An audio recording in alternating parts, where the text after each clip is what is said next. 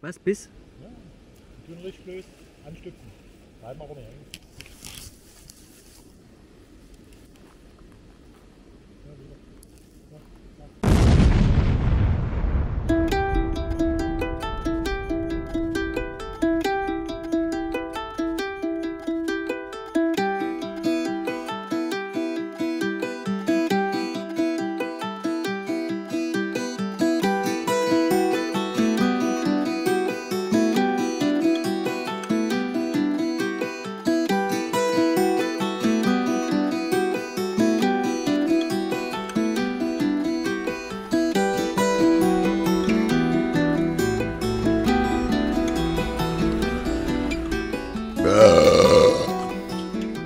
Das kann ich rausschneiden.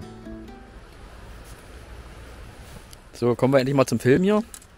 Ja, nee, ich bin nicht drauf, ich bin nicht drauf getreten. Ich schlacht dich. Moin. Ja, sag mal guten Tag Tag. und schön laut. Ja, da müssen wir ein bisschen näher rankommen mit deinem Zink hier. So. Ich lege ja nicht alles zusammen. Ich meine, wer will die Fische nicht verscheuchen. Ne? Also, welche Fische? Ja, ne? Haben wir hier Fische? Wir haben ja Fische. Ich habe ja schon einen gefangen, während du noch gebastelt hast. Also, Ja, okay. Das passt schon wieder. Ähm, ja, Leute, wo sind wir heute? Wir sind an der Flöha. Richtung Erzgebirge. Erste Mal, dass wir hier sind, haben wir ein bisschen ein, ein Wehr dort vorne. Bisschen Mhm. gestaut alles. Und hier ist es ein bisschen tiefer auch. Mal gucken, was uns hier erwarten soll. Ich weiß gar nicht, was es hier geben soll eigentlich am Fisch. Also ich habe mal in, in, der, in der berühmten Angel-App geguckt da.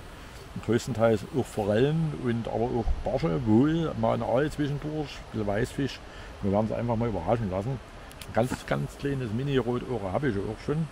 Werde ich dann vielleicht später dran machen, gerade wenn es dann in Richtung Aal geht. Mhm. Ja, werden wir einfach mal überraschen lassen. Ich tue jetzt hier ein bisschen Stippen. Habe ab und zu mal Bisse. Wahrscheinlich gibt es hier auch viele Döbel. Aber natürlich auch heute wieder sehr, sehr warm und, und sonnig. Und ja, müssen wir gucken. Aber ich denke schon, dass wir mal ein bisschen was, ein bisschen was fangen, wenn es ein bisschen Kleinfisch ist. Aber heute müssen wir. Sollte schon, sollte schon gehen. Also Fisch ist eigentlich genug da, aber eben auch viel, viel, viel Brut im Wasser von so bis so. Ja, ja, ja. Das ist ja. Wahnsinn, das haben wir vorhin. Wir waren vorhin schon mal an der Jöba gucken, aber bloß mal gucken. Das ist also Milliarden, Milliarden Kleinfisch, das ist Wahnsinn. Ah, ja, ja, ja. Ja, Ja. mal gucken, was passiert. Genau, das ist unser Motto. äh, Helmut, du hast noch zwei Routen, zwei Einsatzfische, ja. Ja, wieso? ja. Weil du vorhin alles wutentbrannt in die Gegend geschleudert hast. Habe ich gar nicht. Klar hast du das. Das schneide ich raus, das gibt's nicht. Gut, dann mache ich einen Kommi. ja, Ja, Äh. nee. naja. Ja, so viel zum Thema 12 Euro Routen. Gut, lassen wir das, das ist eine andere Geschichte. Also was den Routenhalter, der ist, oh, der ist vermutlich nicht für die Höhe gedacht, Ja. sondern nur für die Ja, Tiefe. Ja, ja, das ist ganz falscher Schwerpunkt, das Ding. Ja, Ja, Ja. kann man nicht reden. gut. Ah ja, wir melden uns dann wieder, wenn wir was gefangen haben. Also wahrscheinlich gar nicht. okay, dann ist das Video hiermit beendet. Macht's gut, Nee. winke, winke und tschüss. Spaß,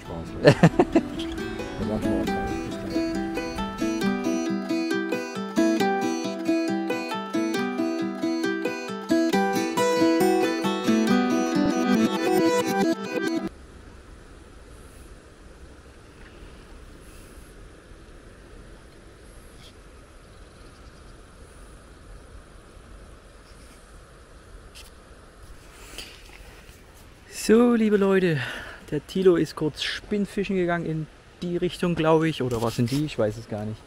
Ähm, ich bin immer noch am Ansitzen. Passieren tut hier leider gerade gar nichts. Ähm, macht aber nichts, ist ja noch hell. Die Sonne wird demnächst untergehen, da haben wir vielleicht mehr Glück. Ähm, ja, äh, ich, ich würde gerne die Drohne fliegen lassen, aber ich möchte das dann doch vermeiden. Ähm, wir sind hier äh, geduldet, sage ich mal. Wir haben äh, einen Anwohner gefragt, ob wir hier ähm, angeln dürfen und das ist sein Grund und Boden und der möchte nicht, dass das, ja, dass das eben äh, breit gelatscht wird und äh, ja, dass sich dann hier auch noch andere Leute irgendwie antreffen. Deswegen halten wir den Platz heute mal so ein bisschen geheim. Ähm, Flöha muss reichen, also die Flöha als Fluss und ja, wir sitzen jetzt hier noch eine Weile, also bis Mitternacht bestimmt, da geht bestimmt auch noch was, aber bis jetzt ist erstmal Ruhe. Tatsächlich ganz viel Kleinfisch im Wasser. Also unglaublich, äh, gut, jetzt sieht man es tatsächlich gerade nicht, war ja wieder klar, äh, unglaublich viele Döbelbrut, ähm, die sich hier tummelt und äh, die Wasseroberfläche Bewe äh, zur Bewegung zwingt. Ja, ansonsten nichts Tilo hat eh ein Rotauge, so groß bis jetzt. Also äh, die, die, die, die Pechsträhne zieht sich bis jetzt fort. Wir werden sehen, was jetzt hier noch kommt. Aber ich denke, heute könnten, könnten wir, könnte sich der Bann mal ein bisschen lösen und äh, brechen, damit wir mal wieder ein bisschen Fisch kriegen. Also ich bin guten Mutes. Lass erstmal dunkel werden und dann kommen bestimmt noch die Fische. Alles klar, bis später.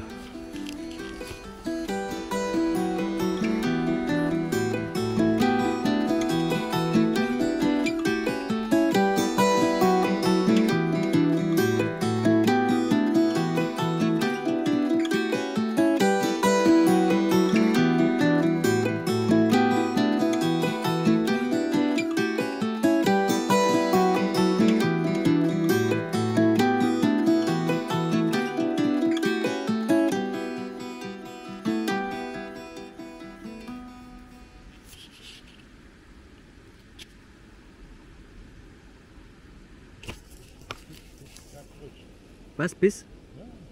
Tun richtig blöd, anstüpfen. Bleiben aber nicht hängen. Ja, wieder. Ja, ja. Sehen Dödel. Ah.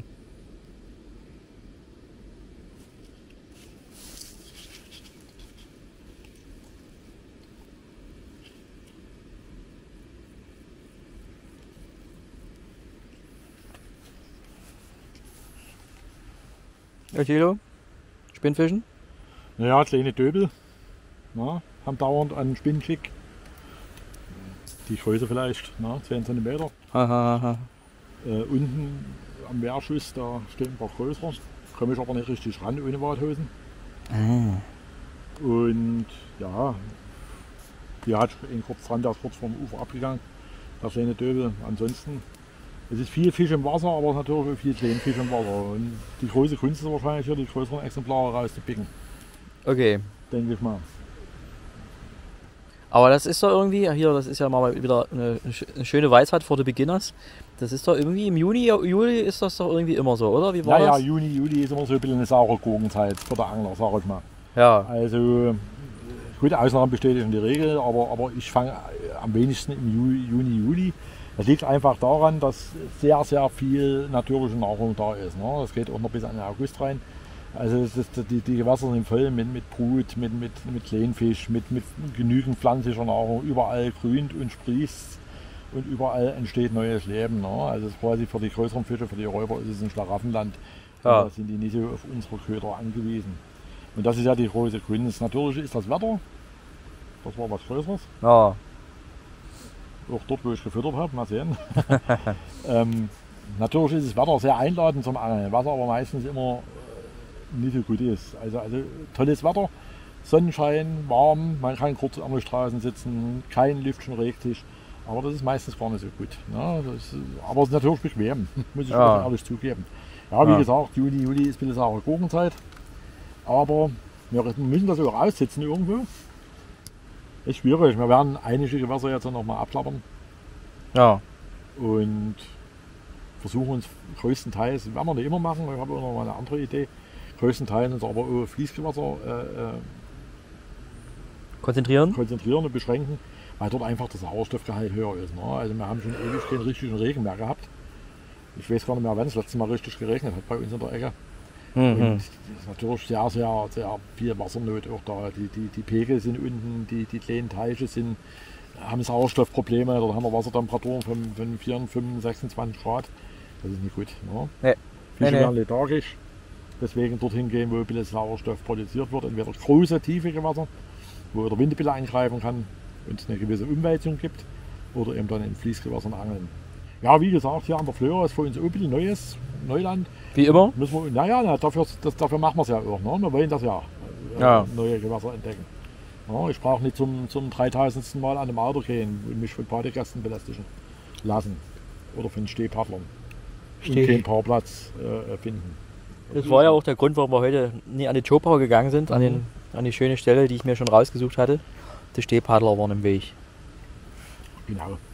Ja. Dort aber natürlich dieselbe Situation. Ne? Wenig Wasser, hat auch ein einheimischer Angler gesagt. Fische lethargisch, viel Brut. Millionen, Milliarden Brut im Wasser. Das ist Wahnsinn. Wir werden noch ein bisschen gucken, ja, während Dämmerung und die Dunkelheit noch ein bisschen äh, mitnehmen und, und dann mal gucken, ob vielleicht noch was geht. Bestimmt. Mal sehen. Ja. Alles klar.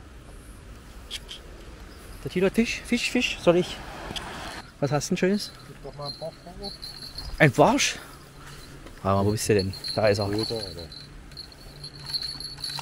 Geht schon. Können wir noch rausheben? Naja, 20 wird er haben. ja, hat er.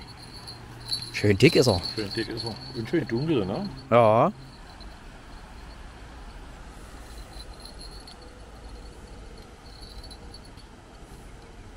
Perfekt, sehr schön. Gefällt mir. Hat er wieder schwimmen. Der darf wieder schwimmen. 10 cm größer hätte ich ihn genommen. Ja, gut. Okay. So, jetzt ist dunkel. Da sieht nichts. Warte mal. Scheiß Paparazzi wieder. Nein. Oh, wo ist der? Bist, der weiß gar nicht, wo, wo du bist. Ach, da bist du. Guck mal. Bin ich da? Jetzt sehe ich dich. Schon wieder dunkel. Ja, Freunde der Nacht. Nacht. Genau. Es ist dunkel. Und seitdem es dunkel, richtig dunkel ist, passiert gar nichts mehr. Oh. Komischerweise. Ähm, da ich morgen auch nochmal losmache, also, also beruflich nochmal eingespannt bin, machen wir jetzt auch gleich Schluss. Fazit für heute. Wir haben zumindest nicht ganz so abgeplenkt wie letztens. Helmut hat sich auch noch entschneidert mit dem Döbel, ne? Jo, handlang. Handlangen Döbel, immerhin, besser als nichts. Ich sage da immer so schön, lieber Kleinfisch als kein Fisch. Ja, ja paar, zwei Barsche und ein kleines Rotohr ist auch noch geworden. Und im Endeffekt haben wir doch als Lehrmittel was gefangen. Naja, saure Grundzeit. Wie überall, wenig Wasser, wenig Sauerstoff natürlich. Ein halber Meter mehr Wasser hätte uns ja gut getan. Aber wir werden dann jetzt auch mal ein bisschen intensiver angeln, ein bisschen woanders hin, weiter Fließgewasser angeln. Ansonsten ging es heute. Die Mücken haben mich total zerstochen, Viecher. und das hat auch niemand mitgekriegt. Ich habe es nicht einmal mitgekriegt. so. Und dann werden wir mal gucken, was jetzt noch passiert. Wir machen jetzt gleich Schluss, Feierabend, haben noch ein Stück Heimweg und melden uns dann zeitnah wieder. Zack, wieder eine tot. So, jetzt machen wir das Licht aus. Weil je mehr Licht, desto mehr Mücken. Okay. So, dann. Tschüss und schön. Tschü- Winke, winke. So ist es. Arrivederci. Tschüss.